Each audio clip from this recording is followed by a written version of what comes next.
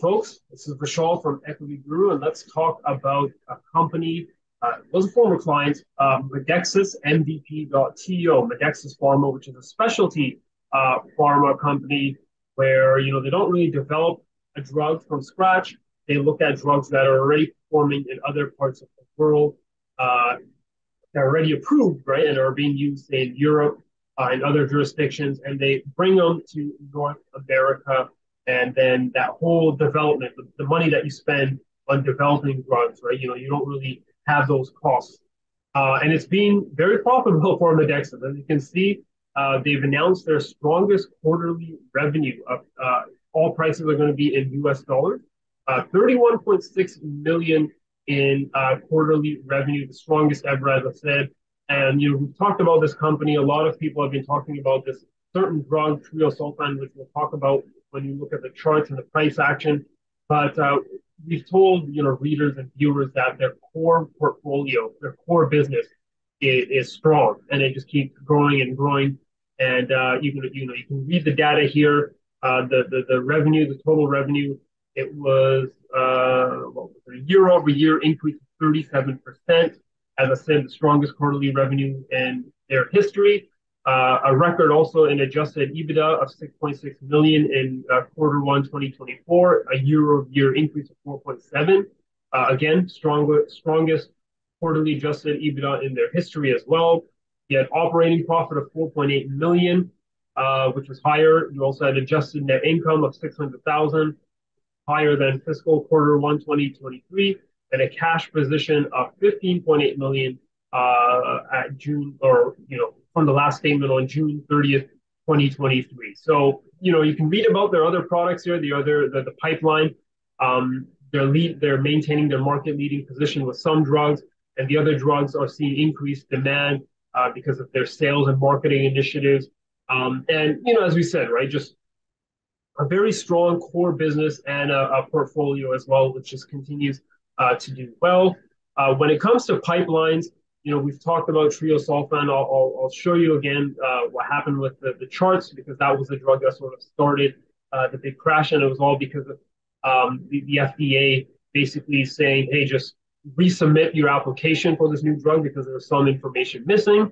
And uh, medac, which is the company that's working towards the resubmission of the new drug application for treosulfan, um, is is uh, well, no, I don't say they're meeting a roadblock or something, but essentially the, they're looking at first half calendar year 2024 to collect and submit the information requested by the FDA. And in light of the ongoing delay in medac's response to the FDA's request, uh, the FDA's review of the treosulfan has now continued beyond the agreed outside date for FDA approval set out in the treosulfan license uh, agreement which provides the milestone payment amounts are subject to renegotiation and adjustment during the negotiation period, which Medexus says is currently uh, underway. Uh, another drug uh, uh that's coming out of the pipeline in Canada we talked about uh, was their hydrochloride nail lacquer to treat uh, fungal nail infections. this is expected to be submitted later in the year, and I think that might be something big uh, you're seeing all those nail fungus commercials on, on TV now. And uh, from what I've heard, is some of the pills that you can take can actually damage uh, your liver. So you have to do a blood test after you take the pills to see if your liver uh, isn't uh, or is, is functioning okay. So I think a, a lacquer is something people will uh, prefer. Um, but yeah, for more deep down, deep dive information, you know, check out this video that's on the channel as well, where Chris talks about Medexus and the stock, which is skyrocketing, why it's still undervalued. And we talk about, you know, the, the, the revenues that this company keeps delivering, right? They just keep breaking records, and it's all due to that strong uh, core portfolio they have. Let's take a look at the chart on the DEX. Wow, wow, wow. Big, big move there. Um, so you can see I, I, haven't touched this, right? So you guys can go back to our previous uh, Equity Guru articles. Just, you know, type in Medexus go back and you'll see that I've had this trend line uh, and this support level. We've been talking about this since uh, summer of this year, since June and July. We, we've been telling readers that, hey, look, we're going to reclaim the 130 zone here, which is a major resistance level.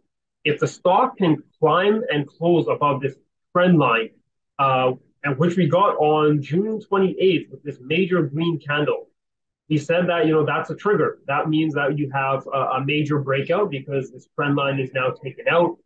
We're going from lower highs and lower lows, which is the definition of a downtrend, into now higher lows and higher highs. So we have our first higher low here, which actually coincides with the retest of the price, uh, retesting 180, which you know used to be resistance, is now support. And then with earnings, you know, look at that, just rally took off, uh, uh, well, pre-earnings rally, and uh, we just hit our next resistance zone, which is around that 340 zone here as well. You are seeing a bit of a pullback, uh, which you know, in my opinion, is completely normal because I mean, look at this move. People are probably taking some profits, um, and I think you're just seeing profit taking, uh, you know, after uh, the earnings was released and after this big move. And technically, going forward, 250 is now the new support zone. Just as we have this higher low here at 180, I'm not saying the price is going to go all the way down to 250, but that is our support zone where we could potentially retest uh, to see buyers step in. But as you can see now, you know, we're already seeing uh, buyers. Uh, we saw a, a, bit of a wick yesterday. We're seeing buyers step in here uh, currently as well uh, with the four-hour candle. If I can even maybe go intraday or see a better uh, intraday price action here, that there seems to be buyers stepping in here around the 280 zone, uh, which means that you know we could maybe just develop our higher low here.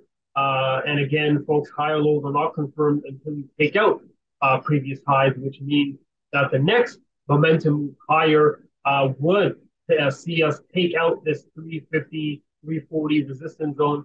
And you're looking at the next resistance level around 450 here. But uh, I mean, if, if you zoom out, I think this is very telling. You know, if you're just looking at market structure, uh, you see a downtrend here with lower highs and lower lows. You see a bit of a range and now what could be potentially the beginning of a new uptrend, higher lows and higher highs. I say potentially, but it technically already is because we already have our first higher low here printed at a buck 80. So the next, uh, you know, momentum rally higher would take us around that 450 zone.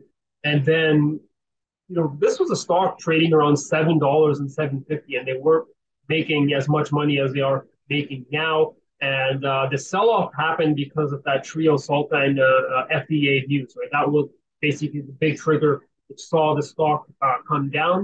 But uh, you know, if, if, that continues to develop, and if uh, um, the FDA, you know, the, the um, NDA is approved and the FDA approves it, you know, this is a stock that could, in reality, come back to those levels, right? Because this is what it was trading at, and now you have to price in all the record earnings and money that the company is bringing in, um, not just you know with what the market would account for uh, with treosulfan, but you know other products such as uh, Gleolan, which uh, the, the, company uh, talks about was a, a, big drug that they expect big things from as well. So fundamentals, you know, look great for the company in terms of uh, earnings, um, and that fundamentals can provide good momentum uh, for the stock, uh, especially when you have the technicals which have triggered out, you know, have triggered into a, a breakout. So this is just one of those winning combinations, right? When you have technicals and the fundamentals aligning, uh, it's, it's, it's, it's usually a very, very good thing, right?